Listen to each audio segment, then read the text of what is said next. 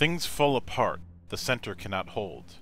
Mere anarchy is loosed upon the world. The blood-dimmed tide is loosed, and everywhere.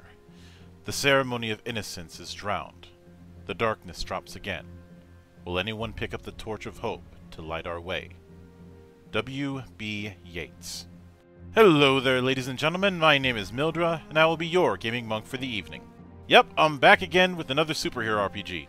What can I say? Despite the bullshit that the big two are drowning in, I cannot deny my love for superheroes. I may have gotten my start with the 90s cartoons like most my age, but I freely admit that if you asked me my favorite supers in the big two, you might get some surprising results, especially given my love for Spawn over the years. However, I'll save the talk of good and bad superheroes for people more experienced in talking about that. Instead, let me pivot to the relationship with comic books and role-playing games.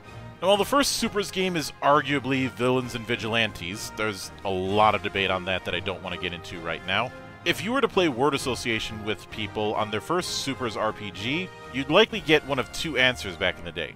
Mayfair Games' DC Heroes, later rechristened to Blood of Heroes when they lost the DC license, long story, and TSR's Marvel Superheroes, also called MSH in some circles, and my personal preferred definition, Marvel FASERIP in reference to the core attributes within the system. You know, kind of like special being an acronym for the core attributes in Fallout.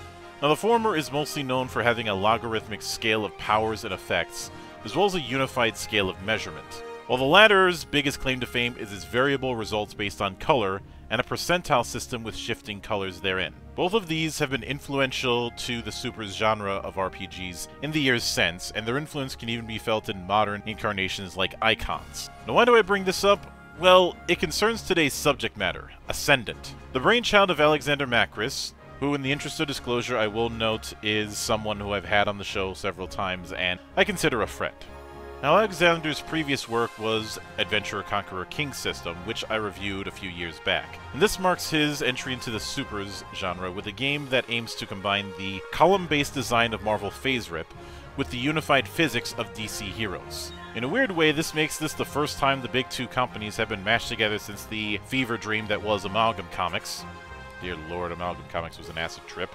But once again, I digress. With a combination of those two being the goal, how does it hold up in the hallowed halls of my temple? Let's find out. At just under 500 pages, Ascendant is a beefy boy, and that's to be expected given all that Super games have to juggle. As I've said in the past, a rules-light superhero game is sometimes an oxymoron. The layout is presented in a very clean manner, along with key terms being in red bold. In fact, color plays a factor throughout the book. Additionally, we have the holy trinity of navigation. Table of contents? Check. Doubly so for having hyperlinks. Index in the back? Check and check. Bookmarks in the PDF? Well, yes, but there's an asterisk. The chapter entries are there, but the sub-bookmarks could use some work. As a bit of an aside, I do like the in-universe article clippings and magazine covers to try and add a little bit of context to the world. The book is certainly daunting, but the navigation and presentation certainly lessen the blow. Overall, it's a net positive, I just wish that it had better sub-bookmarks. Oh, well, I can fix that on my own. Character creation is, as you'd expect, a points-based affair. We'll be exploring that once again with Crystal Saint. Now first is character points, the currency of creation. We'll be going with a character point budget of 800. This also plays a factor into our power limit, the upper spending cap of character points. This is calculated as 1 for every 40 character points, so in our case the power limit is 24. Second is primary attributes, the core abilities of the character. These are as follows Might, Agility, Valor, Resolve, Insight, and Charisma. Each of these costs 10 character points per, well, point, with 3 being the human baseline. Now in our case, we'll go with Might 4, Agility 7, Valor 5, Resolve 6, Insight 8, and Charisma 8. The third is secondary and variable attributes, which are determined from the primary attributes we already generated. This results in the following secondaries. Running speed 5, or 160 feet, jumping speed 1, or 10 feet, carrying capacity 1, or 50 pounds, deadlift capacity 4, or 400 pounds, initiative 5, income 0, or 10.29, reputation 8, or 6400, notoriety 0, passive spotting 8, or 1280 feet, and passive listening 0, or 5 feet. Much of this is generated from the core attributes and compared to the variable attribute table that Ascendant has. This will be a thing later. Fourth is powers and skills, where we really get into the bulk of CP spending. Each power or skill has two costs, a base and variable one. The former is the entry-level amount of CP that the item costs, and the latter is how much it costs to improve.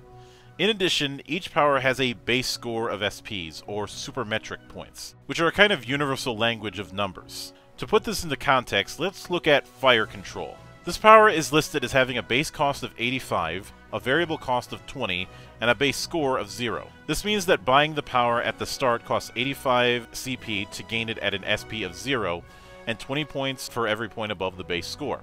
This applies just as well to skills.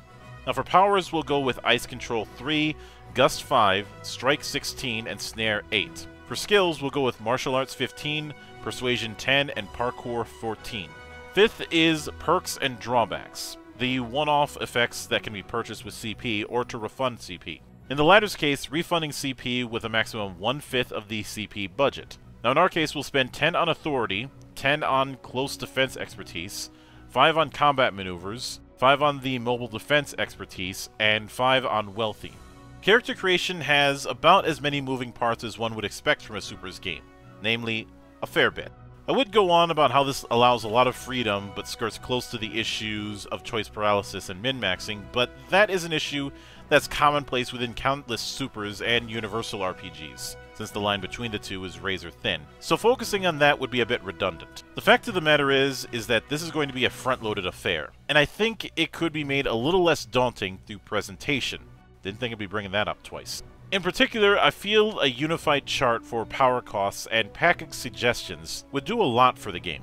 I know I bring up this kind of thing almost to the point of annoyance, but I think archetypes do a better job in making freeform games less daunting than sample characters will. I don't think character creation is too crunchy, but I do think that it's no more or less crunchy than most of its contemporaries. Again, a little cleanup could go a long way. That said, I do hope to see an extended character sheet down the road because the one as is is a little bit small. Ascendant is a roll under D100 system in what it calls the Challenge Action Resolution Table, or chart. This isn't a universal range of odds per se, but something that could be more familiar to veterans of Marvel FASERIP and its derivatives like 4C system or Nth edition. The target numbers to roll are determined by the AV and DV, or acting value and difficulty value. Now the former is typically determined by an attribute or the SP value of a power, if qualified. This is subtracted by the difficulty value, and the difference being the resolution value of the roll. This is a D100 roll that's compared to the relevant row on the chart, which has one of five color codes. These are white for a failed roll, green for a minor success, yellow for a major success, orange for a critical success, and red for a triumph. To put this into practice, if rolling an RV of 1 for an attack, a 68 or higher would be a failure. A 67 to 34 is a minor success. A 33 to 14 is a major success. A 13 to 3 is a critical success. And anything above that would be a triumph. Regardless, the positive and negative cap is 7 and minus 7, respectively. An RV above 7 is an automatic success, and one below negative 7 is an automatic failure, respectively.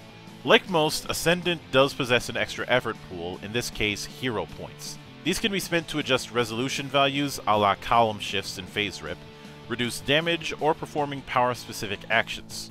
I would be remiss if I didn't point out the SPs from earlier, as, again, this is a universal language of effects, determining the strength of effects in things like length, height, benchmarks, and so on.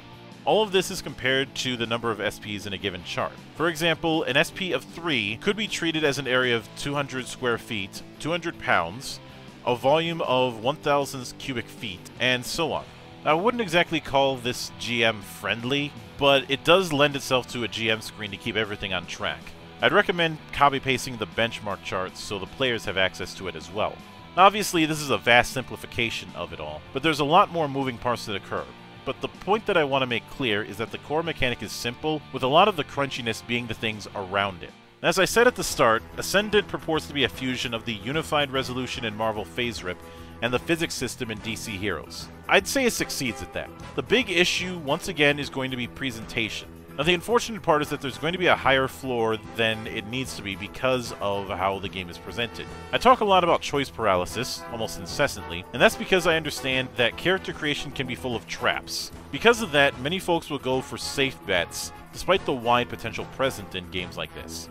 However, I do think there's a lot of potential once the rolls actually start, especially with its presentation of action economy based in panels and pages, a nod to its comic book origins.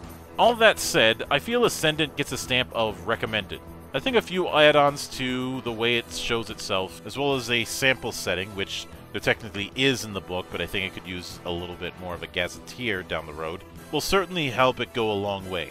And given the fact that the Star Spangled Squadron is being made into a comic book, I get the feeling that a gazetteer is inevitable. Of course, I also wouldn't be opposed to pulling a Mutants and Masterminds and putting on expansions that are based around certain era styles of comics.